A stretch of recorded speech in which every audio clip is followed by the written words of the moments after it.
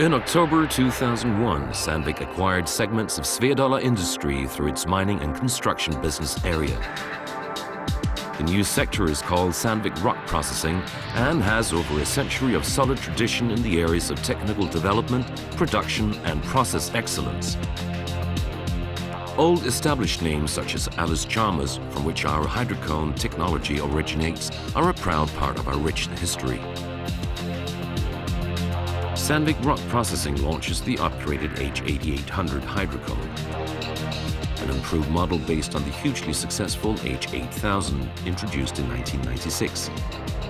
The machine operates continuously in the world's major mining and construction companies upon all continents and all types of material.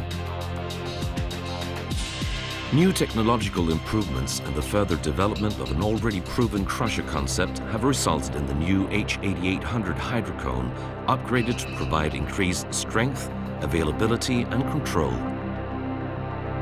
Explore the future of smart crushing.